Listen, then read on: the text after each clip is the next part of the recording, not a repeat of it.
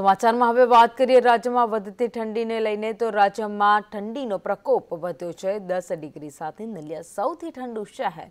ભુજમાં તાપમાન પંદર ડિગ્રી, કંડલામાં ચૌદ ડિગ્રી અમ- અમરેલી અને ભાવનગરમાં અઢાર ડિગ્રી તાપમાન નોંધાયું છે.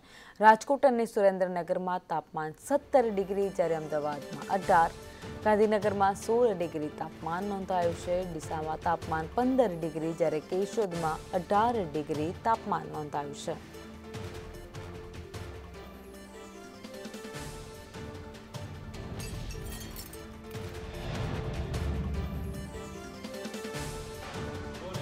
અમદાવાદમાં શિયાળાનો માહોલ જામ્યો છે ત્યારે અમદાવાદના લોકો પોતાની હેલ્થ માટે અવેર બન્યા છે. અલગ અલગ અમદાવાદની જે જીમ છે તેની અંદર અત્યારે કહી શકાય કે ક્રાઉડ જોરદાર જોવા મળી રહ્યું છે. લોકો પોતાની હેલ્થને લઈને શિયાળાની ઋતુમાં સૌથી વધુ જીમમાં આવતા હોય છે. આપ દ્રશ્યમાં જોઈ શકો છો અમદાવાદની જે પણ જીમ છે તે તમામ જગ્યા પર અત્યારે ખૂબ જ મોટી સંખ્યામાં લોકો છે તે કહી શકાય કે કસરત કરતા નજરે પડી રહ્યા છે. દ્રશ્યમાં સ્પષ્ટપણે દેખાય છે કે અમદાવાદની તમામ જે જીમો છે તેની અંદર લોકો પોતાની હેલ્થને ફિટ રાખવા માટે આવતા હોય તે પ્રમાણેના દ્રશ્યો છે તે સ્પષ્ટપણે નજરે પડી રહ્યા છે. મહત્વનું છે કે જીમ ઉપરાંત ગાર્ડનમાં મોર્નિંગ વોકર્સની સંખ્યા પણ વધી છે તે ઉપરાંત રિવરફ્રન્ટ પર સાયકલિંગ કરતાં પણ મોટી સંખ્યામાં લોકો અત્યારે નજરે પડે છે. ત્યારે આપણે જીમની અંદર આવનારા લોકો સાથે વાત કરીશું. સાહેબ, શું કહેશો? સવારનો કેવો માહોલ? જીમ કેવી કરવી જોઈએ?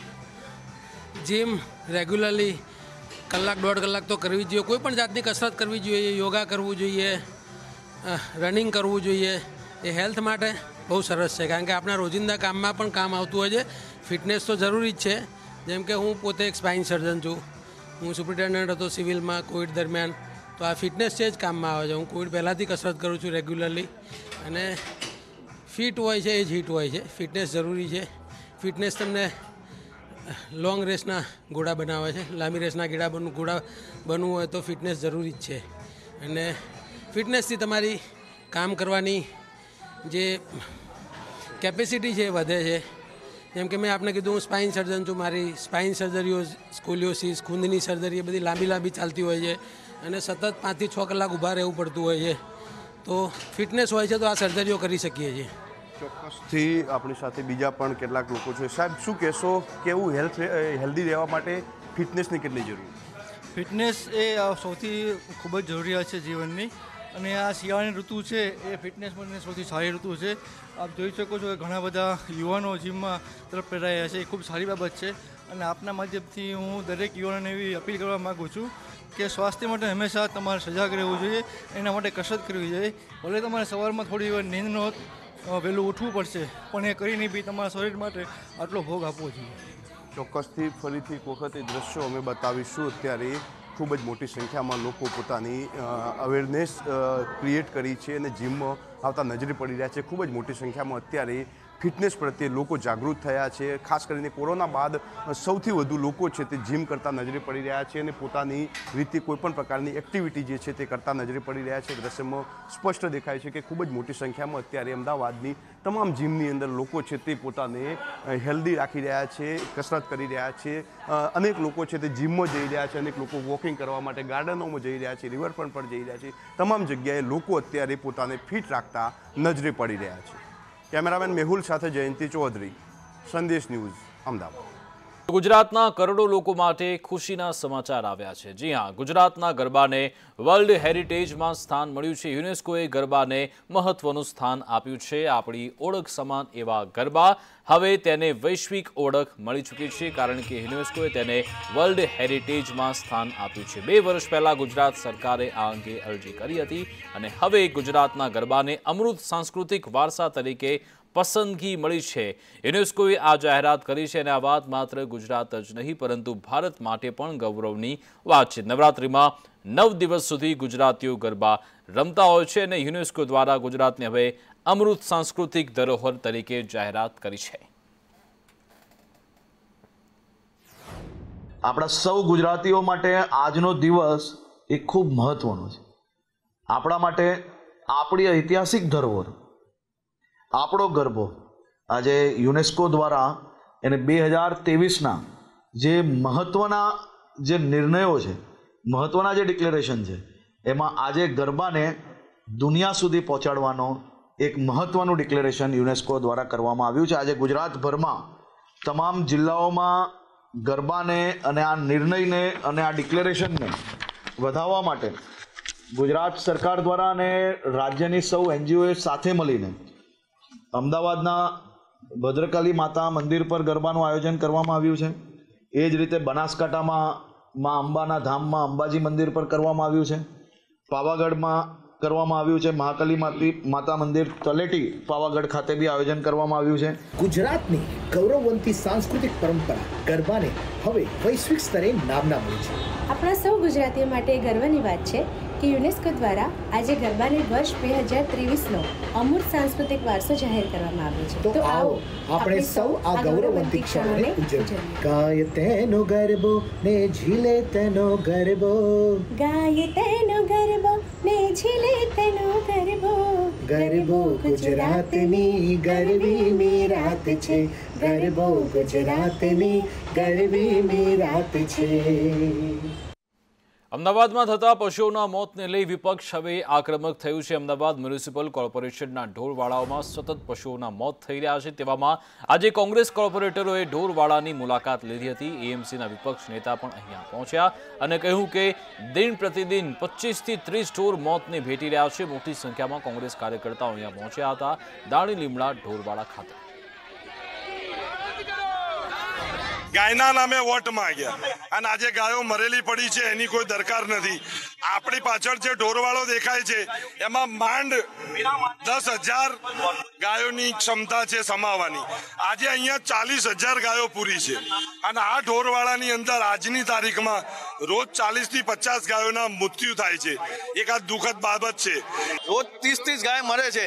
અને એક તરફ મંદિરોના જઈને ઉઘરાણી કરવીને કે ગાય માટે પૈસા આપો, આ બધું આપો, આ જે કાવતરું છે અને બીજું કંઈ નથી. હાઈકોર્ટના નામે ખાલી હાઈકોર્ટને દેખાડીને આ બધું દેખાવડો છે હાઈકોર્ટે તો રોડના માટે બી બહુ વાર ફટકાર લગાવી છે કોઈ રોડ બનાવ્યો નથી કોઈ રોડમાં કામ નથી થયું ભાઈ શું માંગ છે અને શા માટે આજે વિરોધ પ્રદર્શન થઈ રહ્યો છે અહીંયા एक तरफ हाईकोर्ट के ठपके के बाद अहमदाबाद म्यूनिसिपल कॉरपोरेशन घर घर जाकर और सड़कों पे से पशुओं को पकड़ने का कार्य करता है लेकिन जब उन पशुओं की देखभाल करने की बात आती है तो अहमदाबाद म्यूनिसिपल कॉरपोरेशन शून्य दिखाई देता है। कल अहमदाबाद म्यूनिसिपल कॉरपोरेशन ने ही ये कहा कि हर रोज अहमदाबाद शहर में तीस गाय से ज़्यादा का मृत्यु हो रहा है। ये काफ़ी एक आंकड़ा चौंकाने वाला है। कांग्रेस पार्टी ये मांग करती है कि जो भी पशुओं को पकड़ा जाता है, उनकी देखभाल की जाए, उनको सुविधा दी जाए, उनको अनाज दिया जाए, उन्हें अच्छा निलाया धुलाया जाए, ताकि उन जानवरों को कोई बीमारी ना हो और उन जानवरों की मृत्यु ना हो। करोड़ों रुपए का बजट के वादे किए जाते लेकिन वो वादे पूरे नहीं होते। तो कांग्रेस पार्टी ये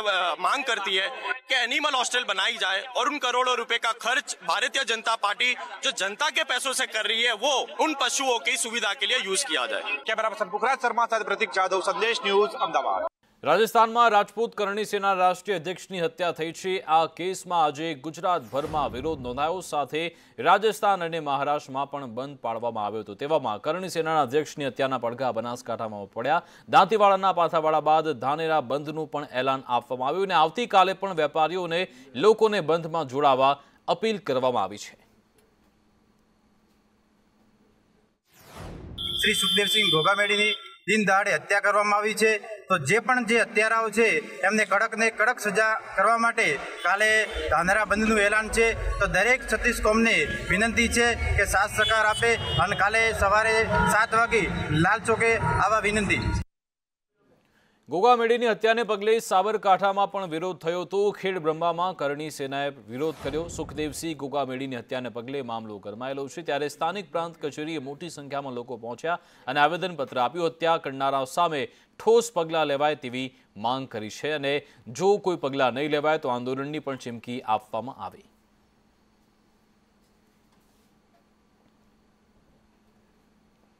સુરતમાં પણ કરણી સેનાના આગેવાનો કલેક્ટર કચેરી પહોંચ્યા હતા અને આવેદનપત્ર આપ્યું હતું. કલેક્ટરને આવેદન આપી હત્યારાને હત્યારાને કડકમાં કડક સજા થાય તેવી માંગ કરી છે. મોટી સંખ્યામાં આગેવાનો કલેક્ટર કચેરી પહોંચ્યા હતા અને ભારે સૂત્રોચ્ચાર પણ કર્યા હતા.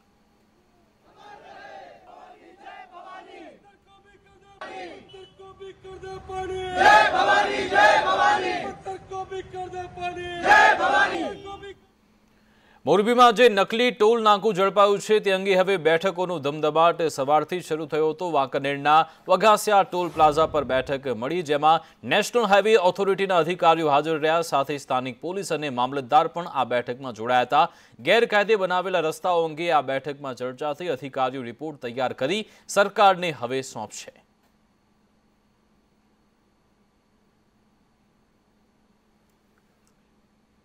તો પાણી વહી ગયા બાદ હવે તંત્રએ પાળ બાંધી છે. મામલતદાર અને પોલીસે ગેરકાયદે રસ્તાના વિઝિટના નાટકો કર્યા હતા. વઘાસિયા ટોલ પાસે જે રસ્તો બનાવવામાં આવ્યો છે તે અંગે ત્યાં વિઝિટ કરી હતી. મામલતદારની ટીમ ઘટનાસ્થળે પહોંચી અને હવે આ અંગેનો રિપોર્ટ તૈયાર કરી કલેક્ટરને અહેવાલ આપવામાં આવશે.